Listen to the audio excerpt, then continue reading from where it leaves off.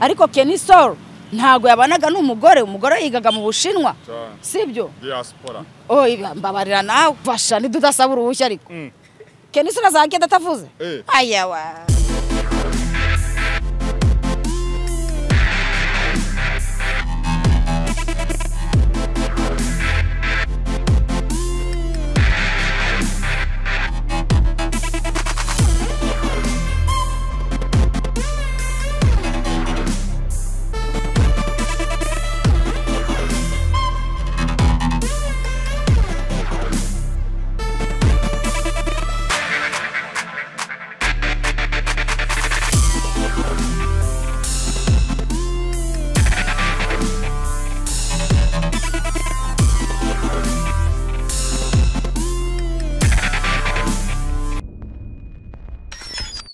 sana nizere ko mumeze neza cyane aho mudukurikirana muri mu bice bitandukanye nitwa Patrick ni Kigali Trend. Umeze neza keza mama Imena Ivani meze neza cyane. Ese njye ko ubutavuga nanjye urabona nari mu kizuru.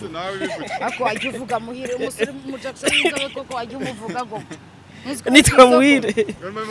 Hasi ikibazo ukunda kuvuga aka- akajambo ngo aba Jackson. Ubundi aba Jackson ni abaki ni ubusore burya ni abasore ngo birirwa muri jimu badafite akazi. Banze gukora n'ubuyede. Oya rwose oya wowe ufite akazi wowe ufite- na cano yawe mfasha wowe wanashaka ukaza hano twese hamwe. Umeze neza. Ubu umwaka mushya ni ibintu bishyashya neza imihanda imeze nabi. Urasa neza cyane. Rahira. Nje mu bukwe hano. None ko waheze hanze keza. Naheze hanze. Nose ko banze ngo hano kwinjira nta telefone. Kandi uyifite. Ndayifite pe. Mfite iphone cumi na kane. Pro max pe. Ariko kangahe kandi irimo n'umuriro wuzuye kane Eh, irimo n'umuriro wuzuye iyi telefone yarera kuri charge. Eh. Ntuse ko nta mujakisi umpamagara eh. Telefone yanjye ndi mariye mfite umugabo umwe n'umwana umwe. Cyane. Cyane Aba- pe. ibyamamare bitangiye bikora ubukwe na muyango nawe yarasezeranye. Ariko urukundo rwa muyango nakimenye rufite irihe somo keza. Eh? Urukundo rwa muyango gusezerana ni ibisanzwe nuko baraba bazwi nanjye narasezeranye si si ndi icyamamare. Nubwo babanza imyaka myinshi bite byanyu? Oya biriya biriya. Yarakimutestinga. muyango muyango azi icyo ashaka. Buriya muyango ntabwo yari atuje bataraza hano ku murenge. None se mu gihe utarafata ibendera ry'u rwanda Eh. uba urihabara Eh, ntabwo uri umugore ntabwo uri no mu mategeko iyo mutandukanye biba byoroshye umwe arakubwira aca hano undi agaca. Ntabwo batarasezerana ngo ni bwo baba bubahana oya ntabwo babubahana Ah. inshuti yanjye buriya divorce iragoye. Wahenze ushaka undi? umuavoka senkisamiri iyo mihanda wirukanka biragoye pe. Neza ninde wabahenze undi oya yo kubana batarasezerana ninde wabahenze undi hagati ya kimenyi na muyango oya bose bose barangana memu aje. Imyaka bakorera amafaranga menshi kurusha undi. Ibyo se bivuze iki? Erega urwo ni urwabo. None se none se umugore yakorera amafaranga menshi ntazagusuzugure ubaye uri umugabo. None se baranganya imyaka. Kimenyi yafashe amafaranga mbere yande? Ya Muyango. ya muyango uba yayamurusha oya icyo nta kibazo. Ugize amahirwe ukagira ugize amahirwe. Muyango ni umukozi. Yavuye mu murenge agahita ajya guhositinga n'iterambere ry'u rwanda ririmo rirateza imbere igitsina gore. Tubyemere. Eh, uza rero no mu nki- no mu nkiko no mu nteko usanga ari iki? Igitsina gore. Ariko muyango ni we waratunze ngo kimenyi ni- oya ntabwo amutunze. Nta oya ibyo bivugwa se na biravuga ibiki? Sasa amaze amezi angahe yaravunitse ari mu rugo. Arahembwa afite kontra nshuti yanjye. Nubwo nawe bari kumushyira mu bishokoro kimenye nta nta kintu ari kwinjiza nta mikino ari gukora igaragaza nta musaruro tubona. Ni uko arwaye nyine. Yaje anacumbagira umuhungu. True love. Rura ni urukundo pe. Rura ni urukundo reka tubasengere. Reka tubiharire imana. Uriya mwana wabo bafite imyaka ingahe? Ubundi tubara inda y'amezi icyenda tukabara n'imyaka bagikundana birukankana imihanda. Ese bakunanye igihe? Eh? oya Bakunanye bam- igihe. ba- Byaje bako- kubera ya video nyine twari dufite na ya mafoto ko ari cyo cyamuntu mbabarira nawe utazamfungisha ngo video yihe nta njye nabonye muri korona ntayo nabonye. corona ndayibuze. Oya mbabarira dashwi shwi, Ese shwi. ushobora kubana n'umugabo mu gihe kingana n'imyaka ine mutarasezerana cyangwa se mutarakora ubukwe ukumva ko ukimufite. Oya ntabwo ari byiza. Ntabwo ari byiza. Na leta yacu y'ubumwe ishishikariza ko imiryango niyo mpamvu uzasanga abantu benshi babasezeranya ku buntu hano.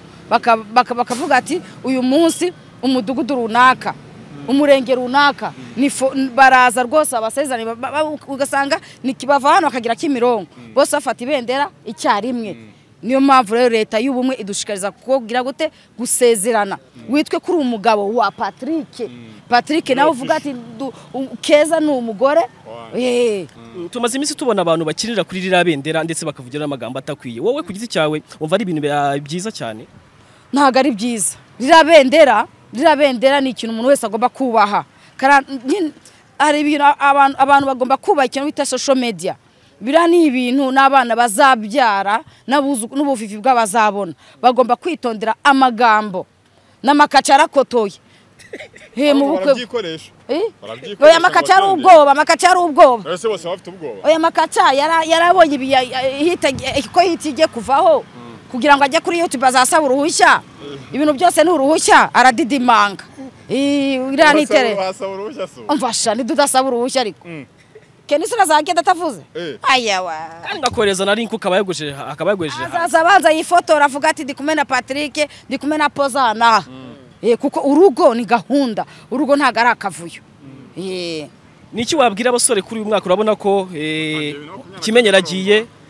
Kenisoro aragiye? Kimenye yararongoye kimenye Kimenyi yararongoye kimenye yararongoye ahubwo yagiye mu mategeko. Yagiye mu mategeko. Yaragiye mu mategeko. Kugira ngo bibe official ko yagize gute? Yashatse umu- umu- umugore bizwi mu mategeko. Ariko kenisol ntabwo yabanaga n'umugore umugore yigaga mu bushinwa. Diaspora. Oh mbabarira nawe. Ese ke umugabo waguciye inyuma wa- wa- wa- wa- wakora iki? Nta na kimwe wakora. Wamubabarira? Cyane. Abikoze bwa kabiri. Hari icyaha kitababarirwa se? Abikoze bwa kabiri. Erega ibintu byose yesu yarabirangije ku musaraba bro. nawe ujya uvugisha Yes, ukuri umugabo waguciye inyuma bwa mbere uramubabariye ubwa kabiri nabwo umubabarire. Amaraso ya yesu yarangije ibyaha byose, ujya uza gusengera kwa ijuru. wajya uza gusengera kwa sultani ukareba. Sultani yaratubwiye ko yesu ibintu byose yagize gute? Yarabisoje. Mujye murimo muri muri ha stress y'iki? uri kwiha stress z'iki? Ku buryo ugira ihabara ry'umugore wawe mugenzi wawe. None se none se tugiye mu mategeko ninde bareba nsubiza. Ninde uzwi ko ni madamu runaka? No mu mategeko ninde? Ubwo wafunga umwuka ukamira. Nagufunga nibi nakuse bite byawe? None se waramubyaye n'umwana wabyaye uramushaka ukamushyingira akagenda. Umugabo. Ariko bite byawe? Keza ko nzi ko udakorwaho nk'umugabo agukubise urushyi byagenda bite? Oya amategeko y'u rwanda amategeko y'isi yose nta muntu ukubita umugore. Hari abahishira ariko abagabo Oya, babo nyine agakubita. Nasohoka nkagenda. Nagenda pe. Cyangwa wamutera umugongo shaka oya nakwicaza nkakubwira ati rero shere wanjye iyo umugore yakuba nka biriya bya wizo yakoreye teta sandra. Sibyo? Iyo umugabo afashe urushyi akagukubita aba akubahutse. Kubahutse nta n'agaciro uba ufite bro. Kandi bavuga ngo ngo ngo ngo ngo ngo ugire ngo udakubita umugore ngo byorora wati sinzi uburyo njya numva bivuga. Oya. Iyo ibyo. yari yakongo ku ngoma ya kera ngo ariko mujye munareba n'ubuyobozi dufite ariko. Dufite ubuyobozi bwiza. Sibyo? Dufite ubuyobozi bwiza tugendera mu mategeko. Umva nta kajagari mu ngo bro. Ngo urafata urushyi. No kunsaba mu buriri urabanza ukambwira neza nshuti yanjye. Eh. None? Aza nyine kuko hari itegeko rivuga ngo urampohoteye. Ugomba tugomba kubiganiraho. Kuko tutameranye neza urushyi ntabwo ruvuga ru- ru- rutuma ntwita Cyane. uru- urushyi ntabwo rwatuma nkubaha. Ahubwo muricara nk'umuryango ukavuga ati njyewe keza hari ibintu ujye nawe ntitari kumvikana ese nceho nanjye nceho? Aho kugira ngo unyice nanjye nkwice aho kugira ngo uroge nawe undoge buri wese yashaka ubuzima bwe tukazahura ku bana. Nshaka kugira ngo ubwirire abasore bandi uzi neza ko bagomba kurongorwa bagomba gukorera nabo ubukwe muri uyu mwaka cyangwa se indi mwaka. Uyu mwaka uyu mwaka adashaka ko Ama G de Black afite divorce agomba gushaka umugore. Yimukiye kunuza ku ruyenzi. Eh, ya- ya- yagiye kwihisha abakobwa. Baratandukanye nta gushwana baratandukanye. Yego. uri kumva amaji amaji rwose babarusha kundi mugore. Sibyo Papa kuko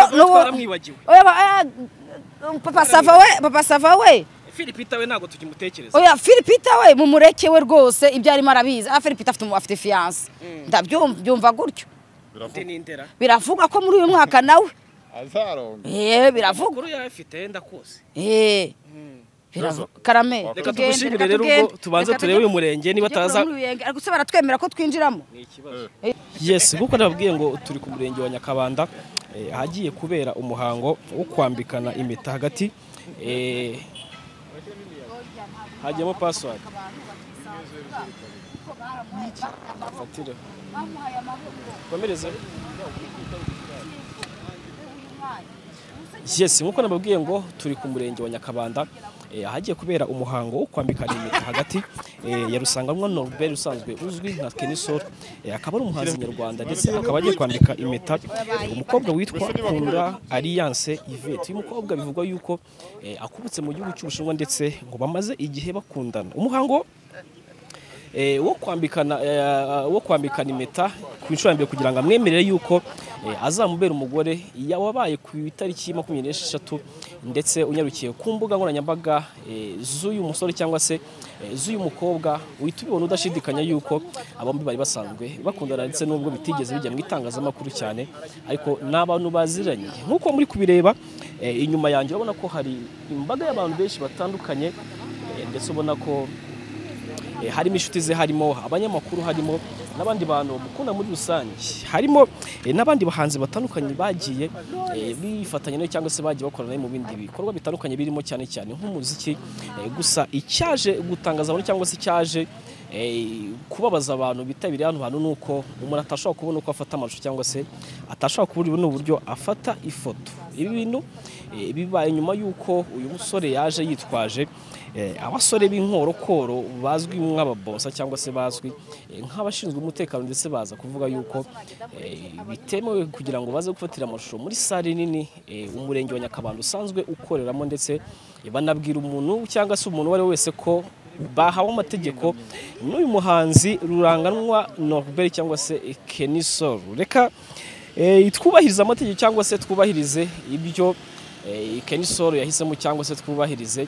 Ibyo ruranganwa yahisemo kubera ko ushobora gusanga afite impamvu ze runaka cyangwa se eh, ushobora gusanga afite izi- izindi mpamvu zituma adashobora kuba wenda yakwemerera itangazamakuru cyangwa se eh, abaturage muri rusange kugira ngo bafate ifoto ye. Nk'uko nabibabwiye bwa mbere mu mateka cyangwa se mu makuru mfite angeraho yemeza neza ko aha duherereye muri uyu murenge wa Nyakabanda ari naho Kenisol usanzwe yavukiye ndetse yakuriye. Mu bantu bamuzi cyane bavuga ko Kenisol yakuze eh, ari umwana ndetse ukunda kuririmba cyangwa se ukunda ibijyanye n'umuziki muri rusange ndetse akaba eh, ari n'umusore waje kujya kubyiga mu buryo bwa kinyamwuga ndetse aho yigiye ku ishuri rya Nyundo cyangwa se ku ishuri ry'umuziki eh, rya Nyundo. Amakuru yo ndaza gukomeza kubabwira uko bimeze.